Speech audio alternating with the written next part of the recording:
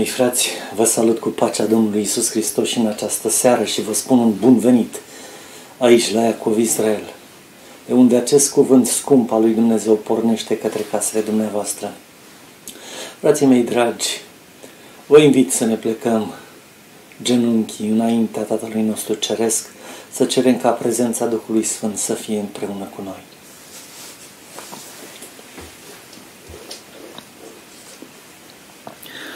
Tatăl nostru care ești în ceruri, îți mulțumim din tot sufletul nostru pentru zilele pe care Tu ni le oferi, pentru binecuvântările pe care le trimiți peste noi și pentru că avem preț în ochii Tăi.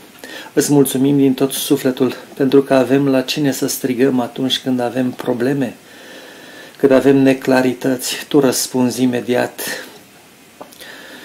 de aceea, în momentele acestea, te rugăm din tot sufletul să primești inimile noastre, ne consacrăm ție pe deplin. Vorbește-ne și în seara aceasta și ajută, Doamne, ca acest cuvânt care vine din partea Ta să fie ca o pâine proaspătă care se coboară din ceruri. În momentele acestea cer ca Duhul Sfânt să fie peste mine, te rog din toată inima. Fă să se împlinească această făgăduință, că Tu ai spus că dacă vom cere, tu vei trimite, de aceea cred din toată inima că este peste mine în momentul acesta, dar te rog din tot sufletul ca și ascultătorii noștri, ascultând mesajul acesta din seara aceasta și mesajele cu care se vor întâlni aici la Iacov Israel, să te accepte pe tine ca mântuitor în viața lor. Rămâi cu noi, binecuvântă-ne Tu, oferă-ne posibilitatea să te cunoaștem mai bine, fii cu cei bolnavi, Fii cu toți acei, Doamne, care încă suferă din pricina cuvântului Tău. Ajută-i, Doamne, pe cei care doresc să încheie legământul cu Tine, să o facă gramnic, pentru că timpul s-a, s-a micșorat, s-a scurtat, Doamne. Vedem evenimentele care s-au declanșat pe pământ, care anunță cu glas de tunet că revenirea Ta este aproape. Ajută-ne să ne împăcăm cu Tine și îți mulțumim pentru cuvântul din seara aceasta, în numele Mântuitorului nostru drag. Amin.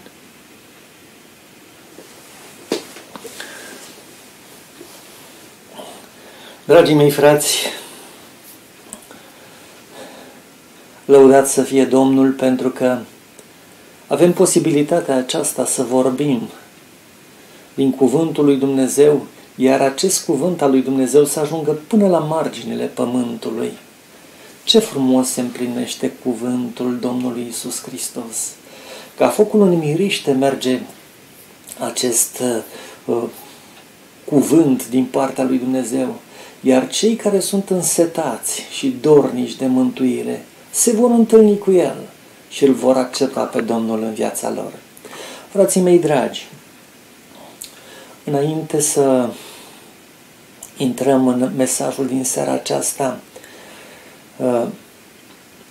am vorbit cu sora Valentina din Moldova, o grupă frumoasă acolo care lucrează pentru Domnul.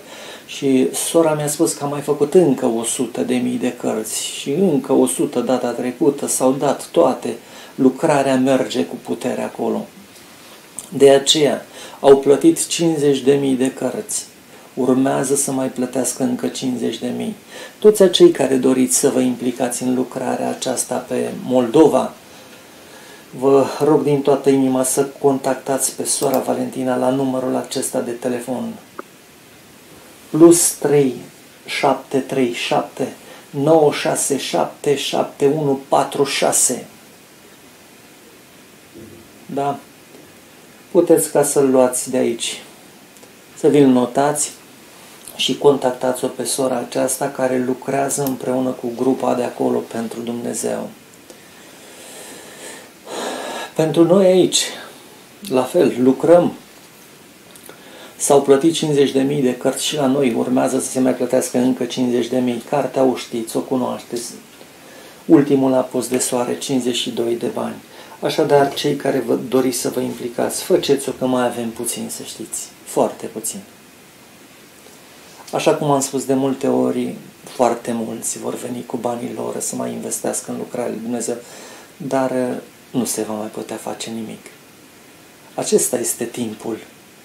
Și observ cum oameni se întorc la Dumnezeu zilnic, primesc telefoane, oameni cu care facem pregătirea pentru botez și să știți că nu sunt puțini, sunt foarte mulți.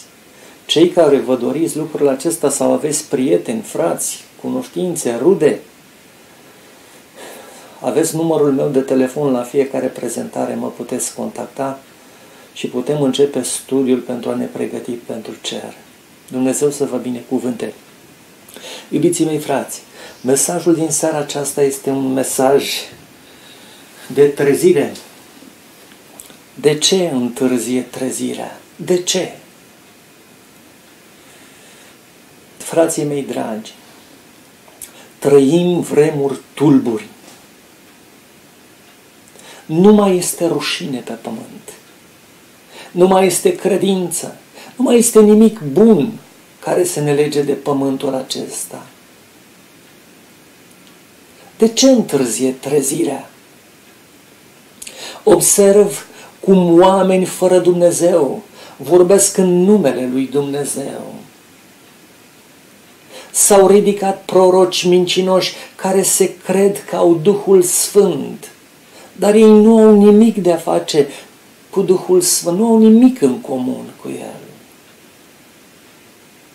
Mă uit și mă îngrozesc cum oamenii sunt înșelați, sau mai bine zis, se lasă să fie înșelați de acești proroci mincinoși. Iubiții mei frați, vă rog în numele Domnului, dați distribuire ca acest mesaj să ajungă în multe grupuri.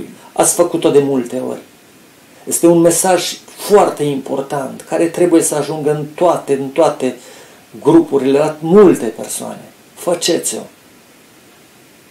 Frații mei dragi, mă îngrozesc cum oamenii se lasă înșelați de oameni care spun că au Duhul Sfânt, dar nu au nimic de a face cu Duhul Sfânt.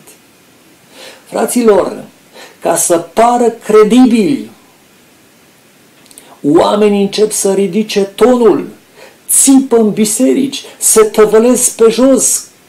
Este show în biserici. De ce? În numele Duhului Sfânt.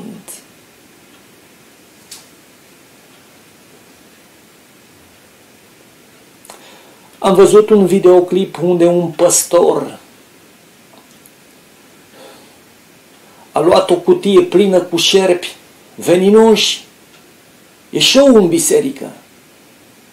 și a început să fluture șerpe aceea ținându-i de cozi pe lângă față, că nu-l mușcă, că îi pare Duhul Sfânt.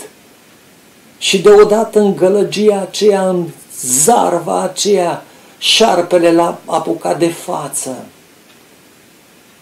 A mai continuat puțin, dar nu a mai dus la cap show-ul lui, pentru că moartea a pus stăpânire pe el. Fraților, acestea sunt vremurile, dar întrebarea mea se pune, dacă omul acela este un proroc fals, tu de ce stai acolo? De ce nu ieși afară? Ai văzut cu ochii tăi cum omul acela a murit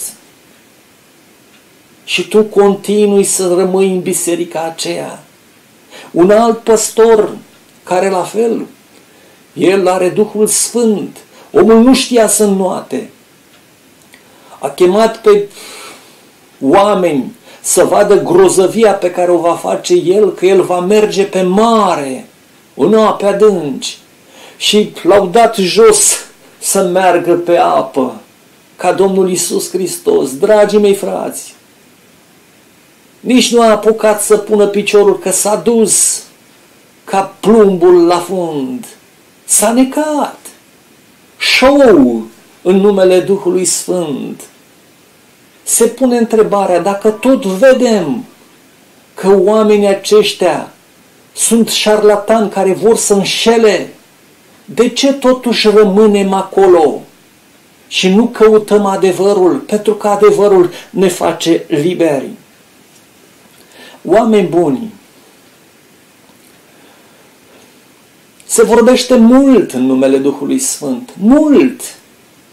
Dar care este condiția ca să primești Duhul Sfânt? Este o condiție, nu poți primi tu. Asta se înalță rugăciuni, fără rușine. Doamne, trimite Duhul Sfânt peste mine. Ce să facă peste tine dacă inima ta este murdară? Dacă vasul tău este plin? Ce să faci? Unde să vină? Duhul Sfânt nu poate sta într-o inimă împărțită. Jumate pentru Hristos, jumate pentru Satan. Nu se poate. Dar ne permitem, fraților, înainte să deschidem gura, ar trebui să ne cercetăm înaintea lui Dumnezeu și să strigăm ca, Doamne, curățește inima mea, vreau să fiu un copil curat al Tău, cercetează-mă Dumnezeule, schimbă inima. Este nevoie de operație, nu vă fie teamă. El este doctorul suprem. El poate opera fără niciun risc. Astăzi mergi la medic pentru o operație și te pune să dai o iscălitură. În cazul în care ai murit, ai iscălit. Dar Domnul Iisus Hristos, atâtea inimi a schimbat și nu s-a găsit nicio persoană care s-au, să arate cu degetul că a murit pacientul. Nu se poate. Marele medic vindecă tot. Vrei ca Duhul Sfânt să vină peste tine? Sunt pași pe care trebuie să-i faci. Așadar, mai vorbi înainte de să cunoști lucrurile acestea. Prea mulți oameni care strigă pe la învoane și de mai tare ca boxele și ca stația și plâng lacrime mare, Duhul Sfânt, dar ei nu au nimic de a face cu treaba aceasta. Iubiții mei frați, care este condiția să primești Duhul Sfânt? Vom deschide Sfânta Scriptură și vom trece prin filtrul acesta să vedem, prin bisericile pe unde sunteți, oamenii aceia, biserica dumneavoastră, dacă spuneți că au primit Duhul Sfânt, au trecut pe aici? Fapte, capitolul 5, versetul 32. Fapte, capitolul 5, versetul 32.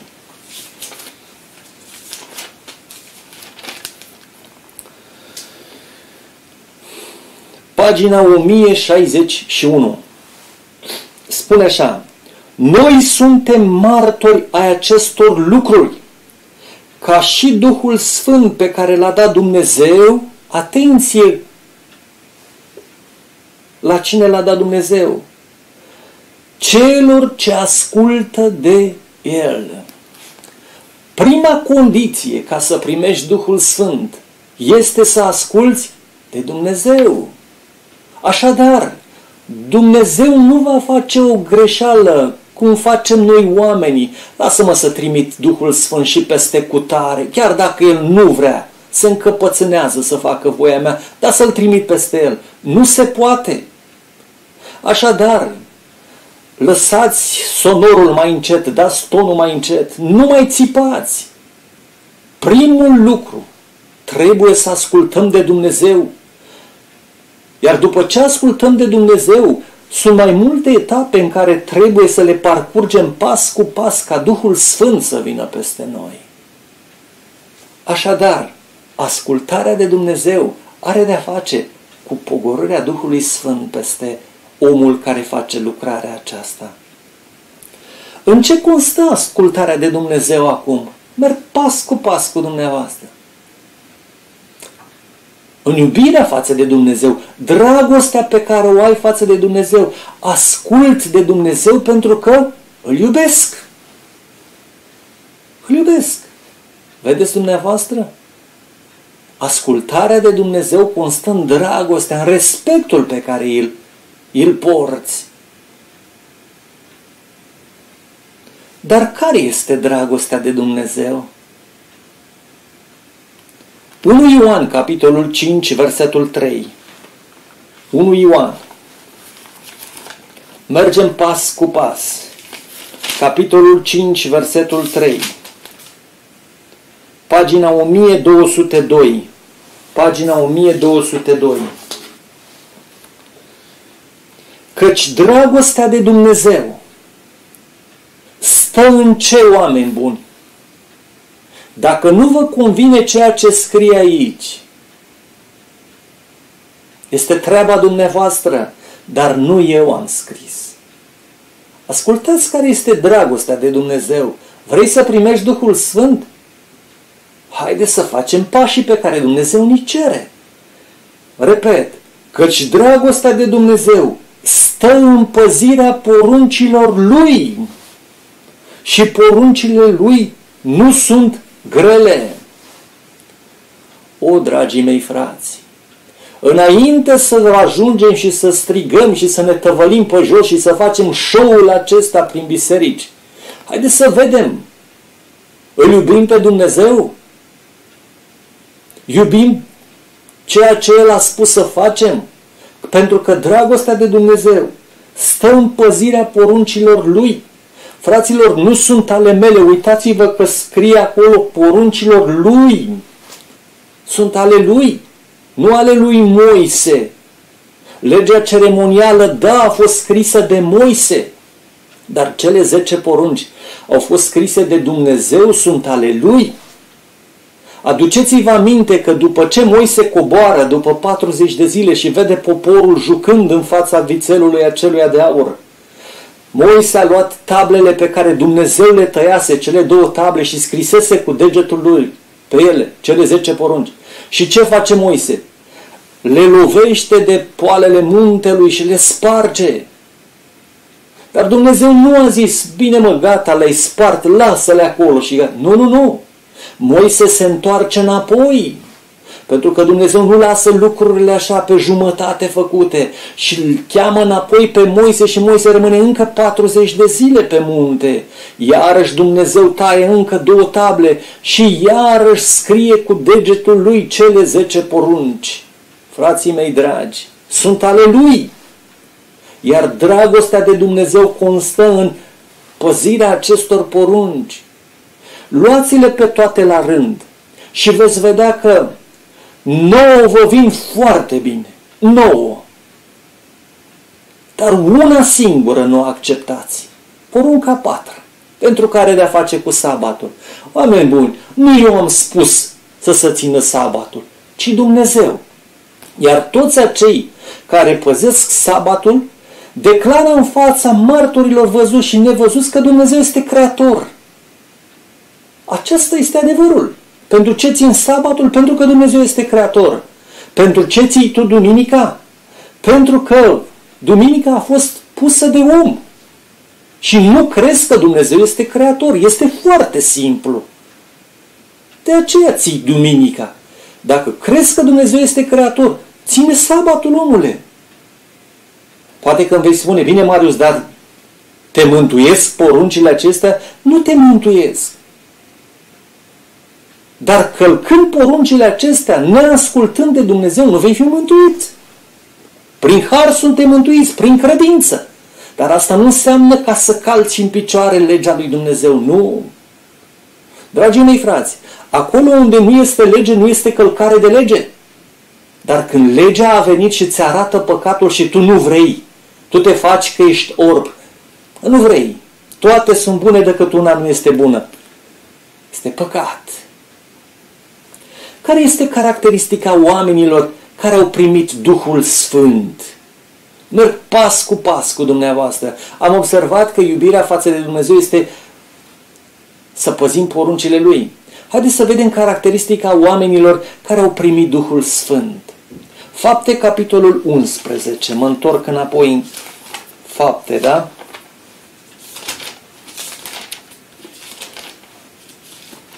Versetul 24. Pagina 1070.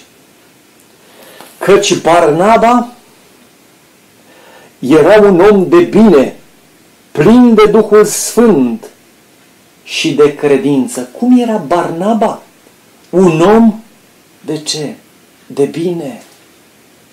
Ca să fii plin de Duhul Sfânt, trebuie să fii un om de bine.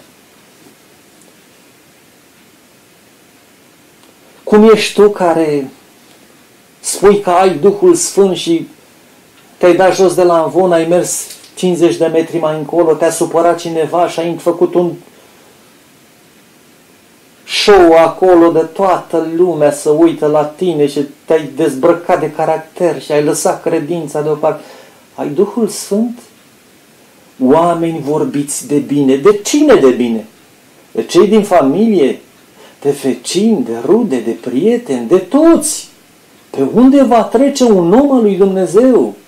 Va lăsa în urma lui cum lăsa Avram altare de aducere aminte.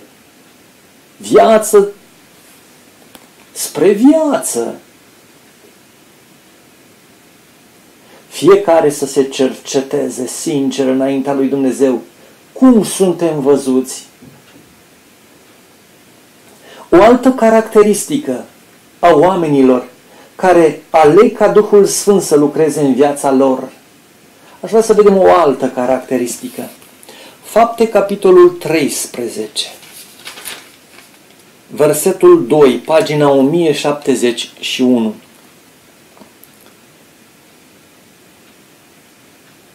O 1071. 13 cu 2. Pe când slujeau Domnului și posteau, Duhul Sfânt a zis, puneți-mi deoparte pe Barnaba și pe Saul pentru lucrarea la care i-am chemat. Foarte interesant. Pe când slujeau Domnului. Vrei să primești Duhul Sfânt, dar nu vrei să slujești Domnului. Tu ai alte lucruri de făcut mai importante decât, da, mărunțișurile acestea. Tu ești om important, om greu, atât greu pe pământul acesta. Nu vei atârna greu. O mână de țărână. Când Dumnezeu va spune până aici, cât de greu te crezi tu tot în patru scânduri și în doi metri pătrați te vei odini acolo de pământ. Oameni grei, am văzut mulți oameni grei, care nu mai sunt. slujeau Domnului. Cum slujești tu Domnului? Și mai spune ceva, o caracteristică frumoasă. Și posteau. O, oameni buni! Cum stăm la capitolul acesta? Mai știm noi ce înseamnă postul? Dacă noi nu mai știm, dar copiii noștri, mai știm S-a uitat de tot, de post, de slujit Domnului. Te cheamă Domnul să slujești în biserică și tu spui nu pot. stobosit. Frate, ai la... Nu pot. O prezentare, nu pot. O rugăciune, nu pot. Deschidere, nu pot. Închidere, nu pot. E ca un musafir. Dar ai pretenția ca la final să ți se spună, intră rob bun și credincios în bucuria stăpânului tău. Cum stăm la capitolele acestea? Slujitorii Domnului și postul. De ce întârzie trezirea oameni buni? De ce? Aș vrea să citesc câteva paragrafe din spiritul profetic, din cartea Biserica Rămășiței și viitorul Bisericii Advente, pagina 104. Haideți să vedem împreună ceea ce spune serva Domnului aici.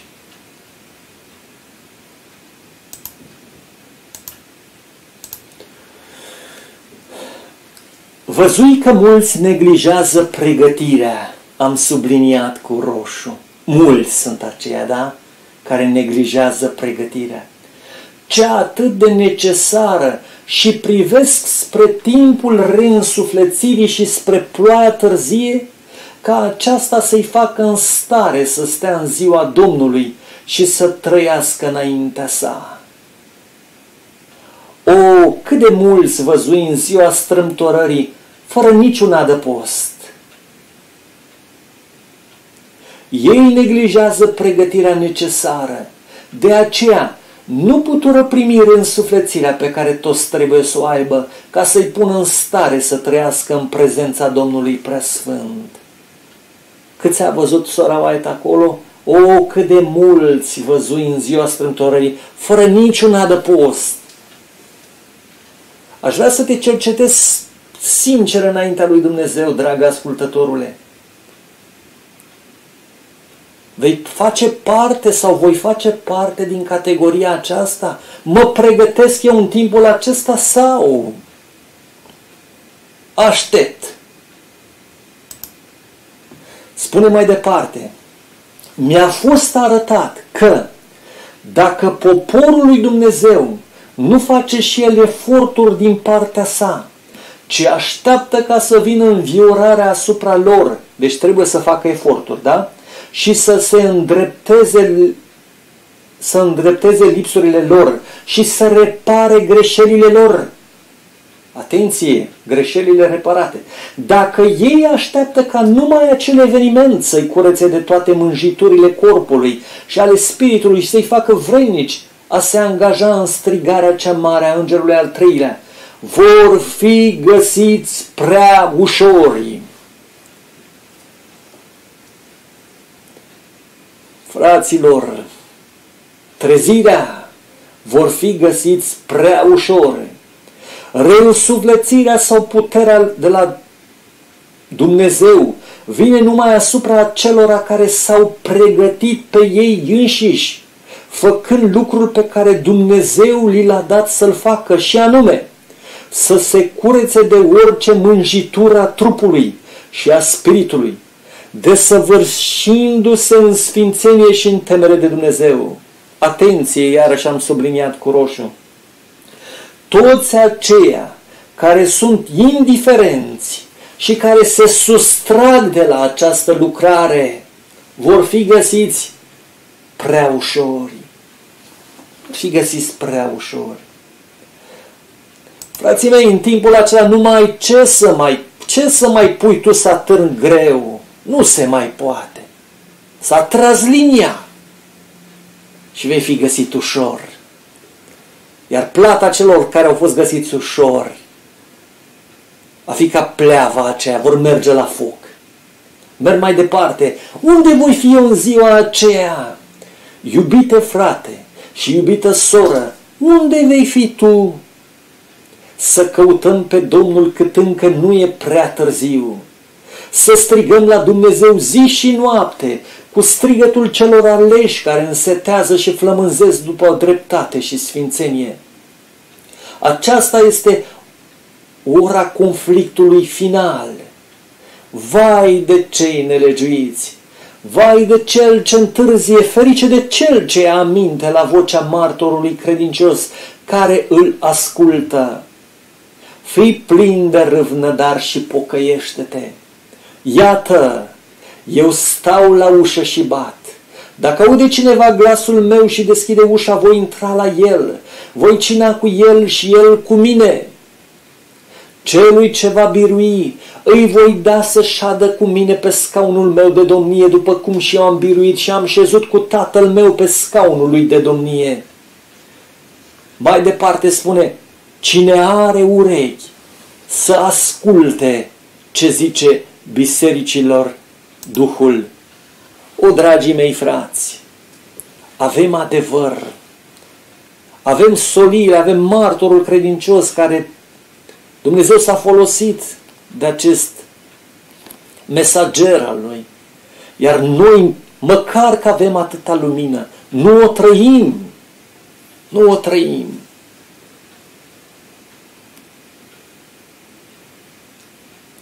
Pregătirea trebuia începută de mult. Mai amâi mult pregătirea aceasta. Și te miri și spui, Doamne, de ce întârzie trezirea aceasta? De ce? În timp ce tu nu faci nimic pentru a te împăca cu Dumnezeu, în timp ce tu aștepți cu vasul murdar, cu inima plină de necurățiile lumii acestea, sunt alți copii sinceri al lui Dumnezeu care au acceptat ca Dumnezeu să lucreze în viața lor. Iar oamenii aceia vor primi Duhul Sfânt. Iar Dumnezeu se va folosi de ei pe final și vor da un mare strigare. Iar tot pământul va fi luminat de glasul acestor oameni minunați. Se pune întrebarea acum, se va folosi Dumnezeu pe final și de oameni simpli sau numai de oameni cu carte, cu multă școală, oameni învățați, vor fi acceptați în lucrare și cei care vorbesc mai puțin gramatical. Va face Dumnezeu greșeala aceasta să includă și pe ei. Dragii mei frați, sunt multe păreri astăzi, dar uitați-vă că Dumnezeu a lucrat de-a lungul vremurilor cu oameni de la coarnele plugului. Și spune Scriptura că Dumnezeu alege lucrurile slabe. De ce? Ca să facă de rușine pe cele tari. Nu prin putere, ci prin Duhul meu, zice Domnul. Aș vrea să citesc ceva din spiritul profetic, din cartea Criza, la pagina 94. Cartea Criza, pagina 94. Uitați ce spune.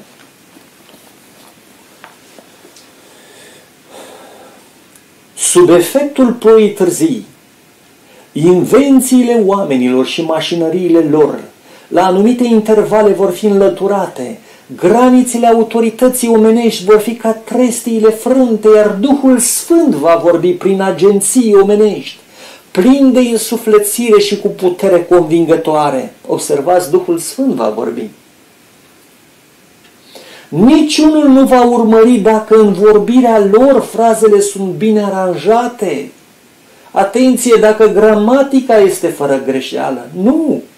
Apa vieții va curge prin canalele lui Dumnezeu. Ei vor proclama adevărul prin puterea Spiritului Sfânt. Mulțimi de oameni vor accepta credința și se vor alătura armatelor Domnului. În timpul marii strigării, biserica ajutată de intervenții providențiale ale lui Dumnezeu, ale Domnului ei înălțat, va răspândi cunoștința mântuirii atât de abundent încât lumina va fi transmisă oricărui oraș mare și mic. Pământul va fi umplut de cunoștința mântuirii. Slujitorii lui Dumnezeu cu fețele lor strălucind de sfântă consacrare vor alerga din loc în loc ca să proclame solia din ceruri. Prin mii de voci, avertizarea va fi dată pe tot pământul. Minuni vor fi săvârșite, bolnavii vor fi vindecați, semne și minuni vor însoți pe credincioși. O, dragii mei frați, cât de clar este cuvântul lui Dumnezeu, iar astăzi noi ne potignim în cutare că nu este cum trebuie, nu are doctoratul și nu știu ce. Nu.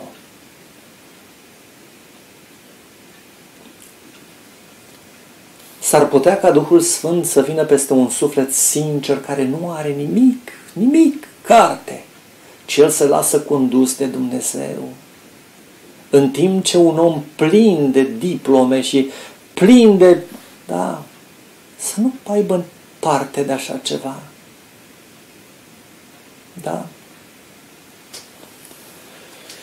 De ce întârzie credi, ă, trezirea? De ce întârzie trezirea? Avem Cartea Sfântă în casele noastre.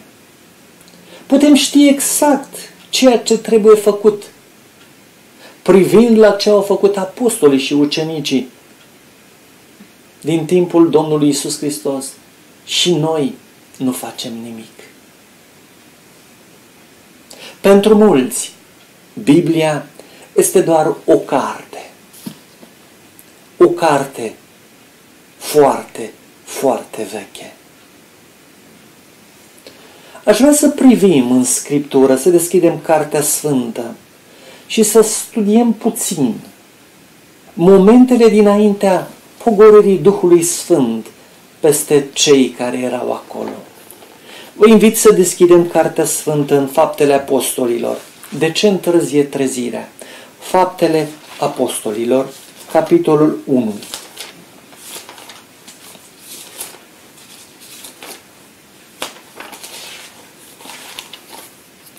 Și voi citi de la versetul 4 până la versetul 14.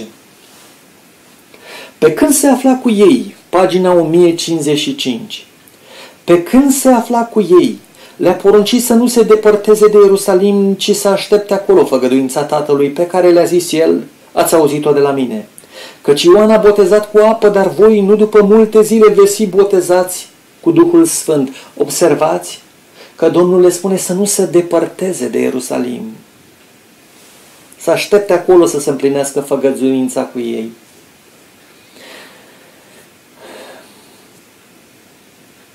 Versetul 6. Deci apostolii pe când erau strânși la oaltă, l-au întrebat, Doamne, în vremea aceasta ai de gând să așezi din nou împărăția lui Israel? El a răspuns, nu este treaba voastră să știți vremurile sau soroacele. Pe acestea tatăl le-a păstrat sub stăpânirea sa. Ci voi veți primi o putere când se va pogorâ Duhul Sfânt peste voi și învesi martori în Ierusalim, toată Iudeea, în Samaria și până la marginile pământului. După ce au spus aceste lucruri, pe când se uitau ei la el, s-a înălțat la cer și un nor l-a ascuns din ochii lor. Și cum stăteau ei cu ochii pironiți spre cer pe când se suia el, iată că li s-au arătat doi bărbați îmbrăcați în alb. Și au zis, bărbați galileieni, de ce stați și vă uitați spre cer? Atenție acei oameni care, sau acele biserici care nu credeți că Domnul va veni, da? Dumneavoastră credeți altceva, răpirea. Atenție la versetul acesta. Spun îngerii, nu Marius, bărbați galileeni, de ce stați și vă uitați spre cer?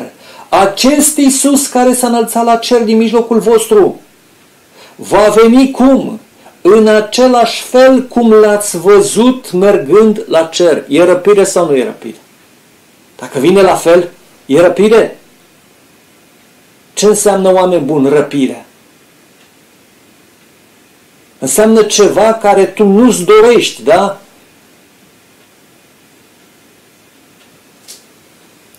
Ne-am făcut fiecare, fiecare ideile noastre. Hai să lăsăm Biblia să vorbească, da?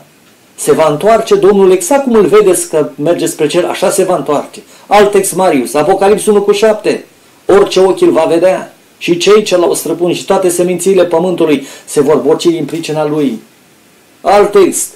Cum este fulgerul de la răsărit, așa va fi la venirea Domnului Isus Hristos. Fraților, Haideți să mergem ceea ce spune Biblia, nu ceea ce credem noi, ceea ce ne-ar place nouă.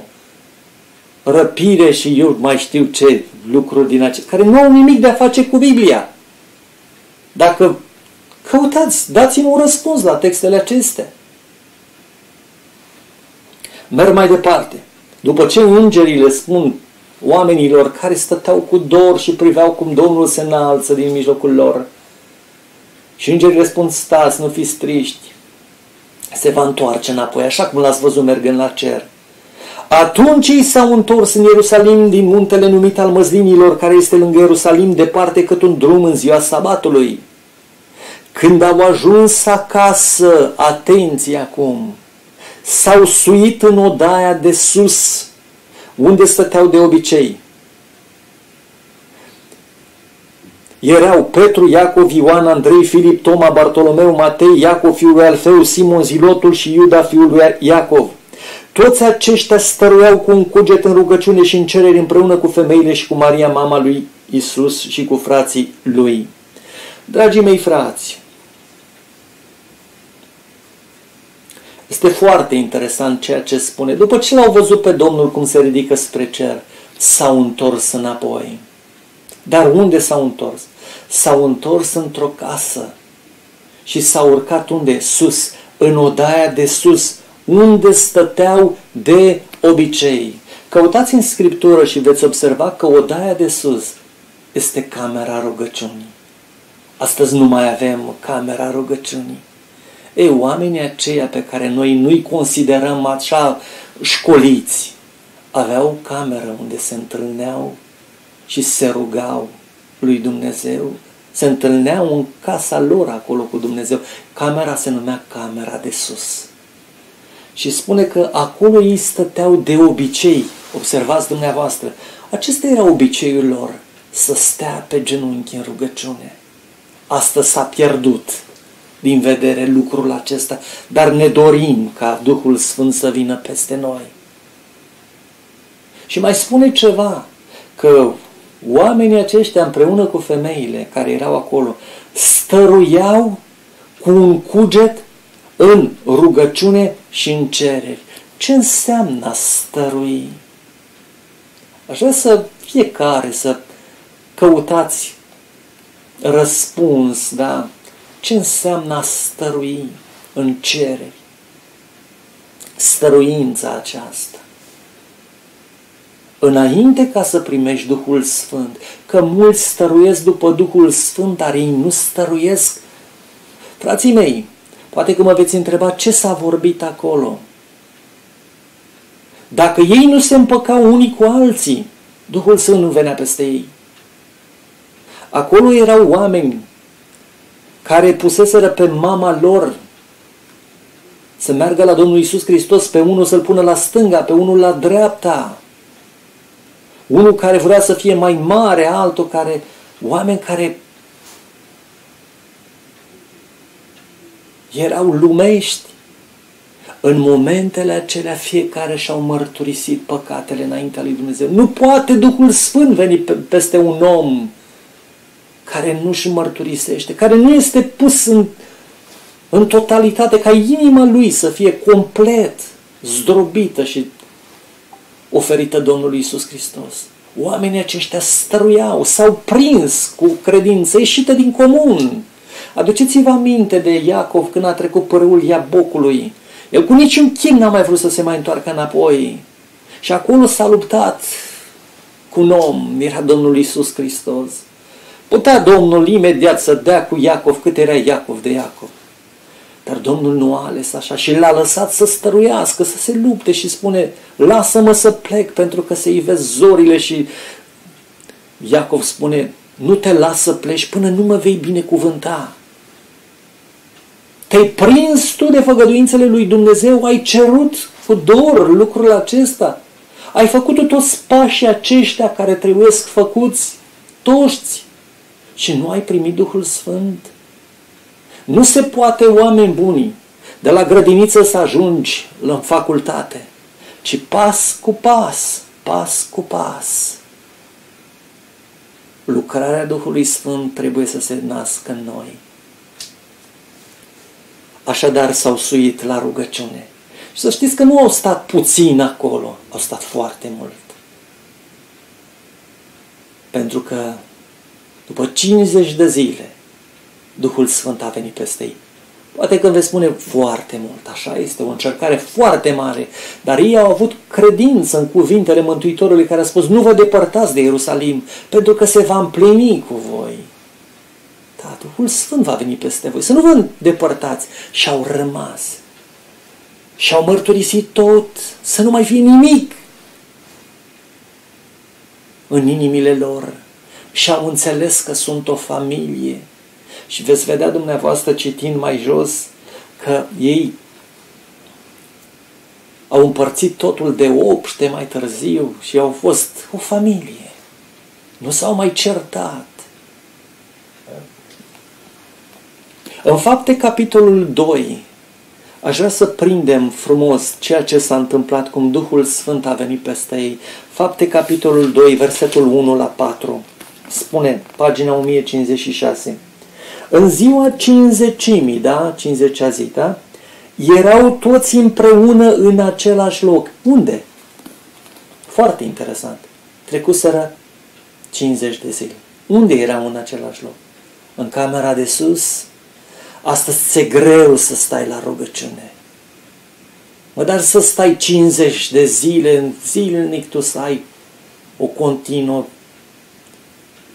predare în mâinile lui Dumnezeu și inima ta, zilnic, zilnic, o cercetare profundă înainte.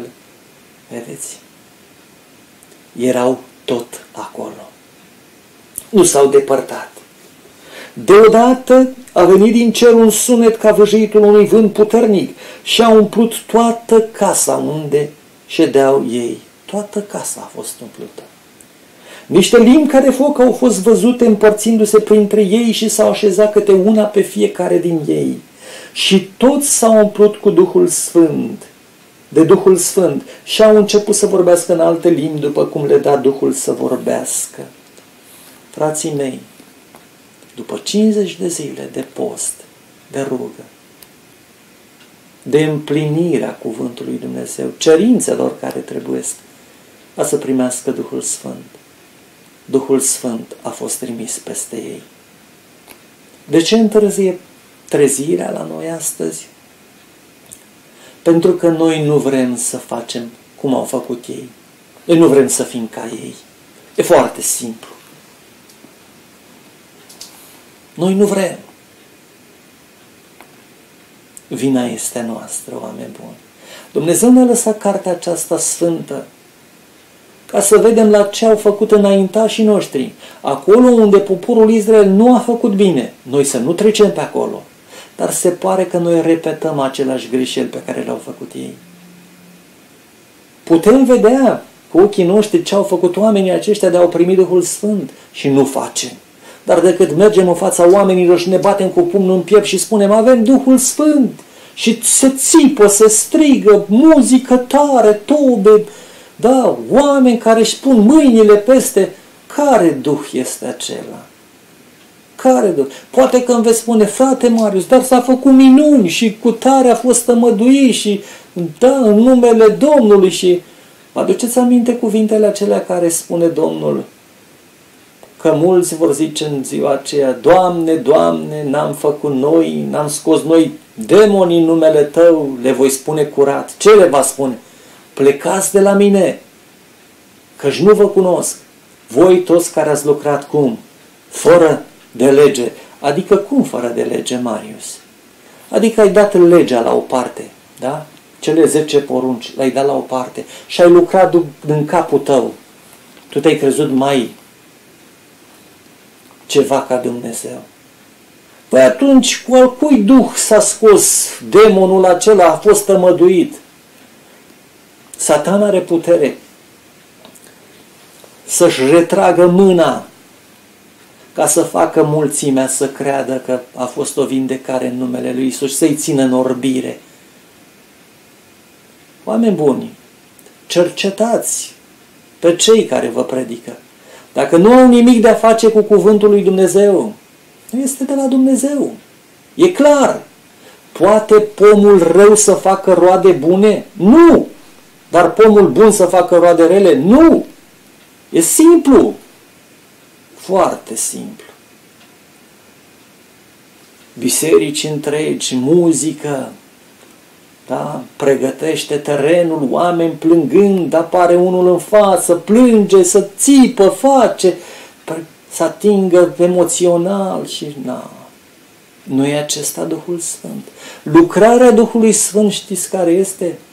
Aceea de a face conștient pe om de starea lui, cât de păcătos este. Da? Marius, cât de murdar ești, plin de păcate, ai nevoie de un salvator, de un mântuitor, mergi la Isus Hristos. Aceasta este lucrarea Duhului Sfânt, nu ceea ce se face show-urile astăzi prin biserici. Se ia cu ușurință numele Duhului Sfânt.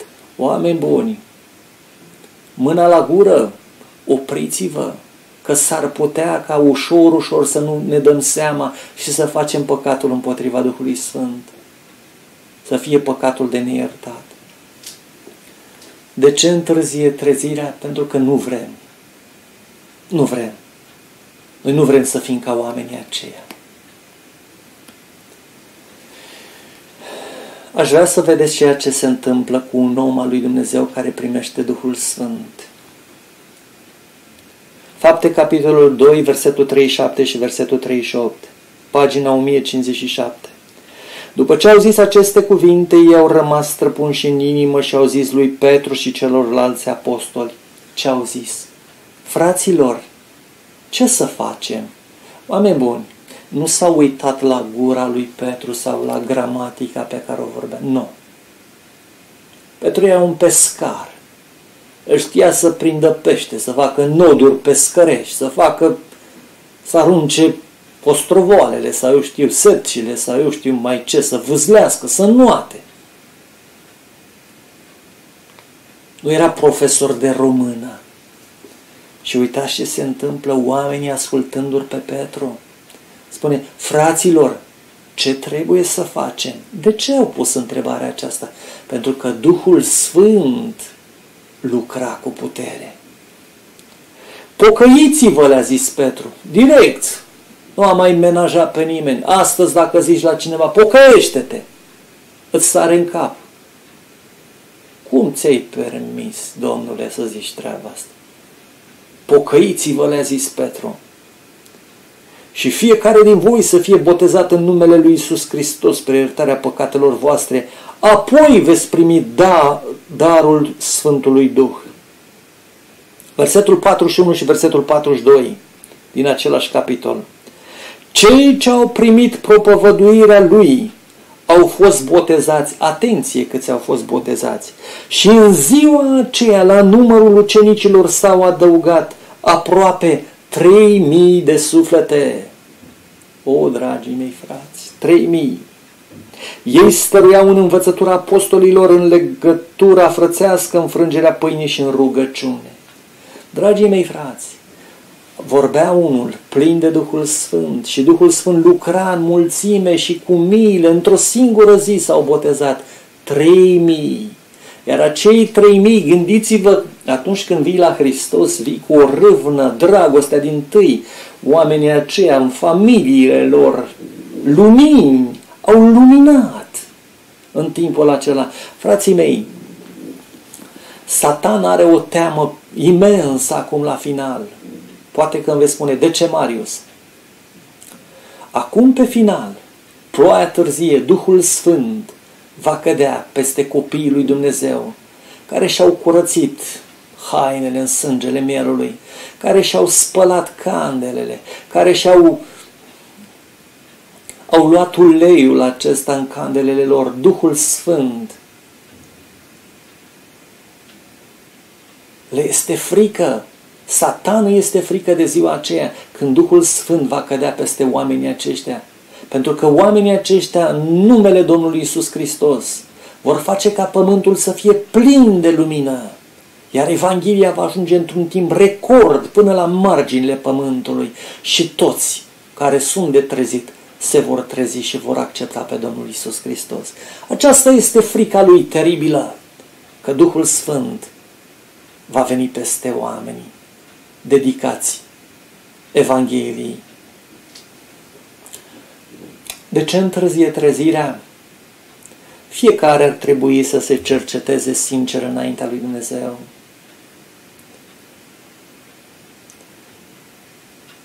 Dacă în inima mea nu este sinceră și în inima mea se găsesc lucruri murdare, Duhul Sfânt nu are ce căuta acolo. Trezirea nu va avea loc. Dacă voi juca la dublu și cu Domnul și cu lumea și nu se poate. Mai târziu vei fi dat de gol și te va arăta lumea cu degetul. De ce întârzie trezirea? Pentru că nu vreau să mă pre- pregătesc. A sosit timpul când trebuie să fim sinceri înaintea lui Dumnezeu. Iar dacă până acum lucrurile acestea nu le-am făcut, doar am cerut ca Duhul Sfânt să vină peste noi și nu a venit, așa este, nu a venit. Ar trebui să strigăm din tot sufletul ca Dumnezeu să ne curățească. Să-L iubim din toată inima pe El, să ascultăm de El, să păzim poruncile Lui care este dragostea de Dumnezeu. Și pas cu pas, fiecare treaptă, ca să poți ajunge acolo să primești Duhul Sfânt. De-abia atunci, când Duhul Sfânt va veni peste tine și vei începe să vorbești în numele Domnului Isus Hristos, cu miile vor cunoaște adevărul. Și adevărul îi va face liber pe toți. Dumnezeu să ne binecuvânte cu înțelepciune, cu pricepere, să credem ceea ce spune cartea aceasta, să-L acceptăm pe Domnul și să strângem rândurile, pregătindu-ne, pentru că venirea Lui este la uși. Dumnezeu să ne binecuvânte pe toți. Să fie o cercetare, să facă o cercetare în fiecare dintre noi. Iar dacă încă mai zăbovim, să nu uităm că ziua de mâine nu ne mai aparține. Azi, dacă auzi glasul meu, nu-ți împietri inima. Rog pe Domnul ca Duhul Sfânt să pună poveri grele pe umerii noștri, să ne arate murdăria inimilor noastre, a minții noastre, ca să căutăm refugiul la Domnul Isus Hristos și să-i cerem Domnului să ne curățească pe deplin, iar Duhul Sfânt să poată să stea în inima noastră și la aceasta să ne ajute Domnul pe toți. Amin. Vă invit, dragii mei frați, la rugăciune împreună.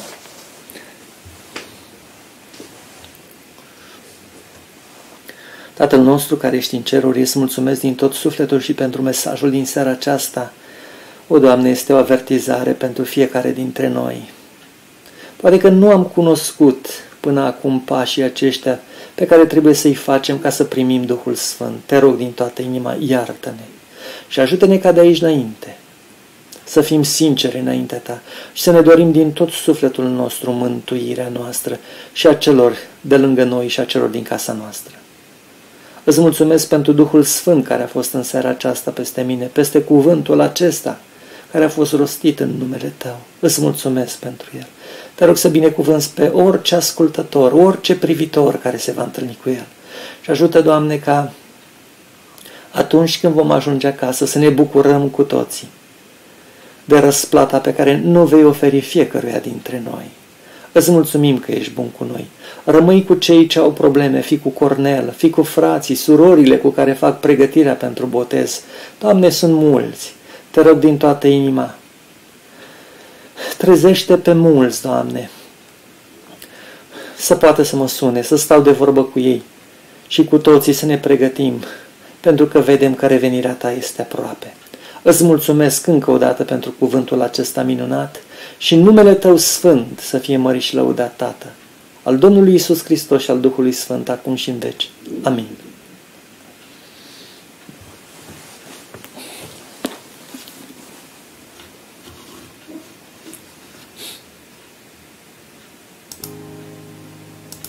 Is the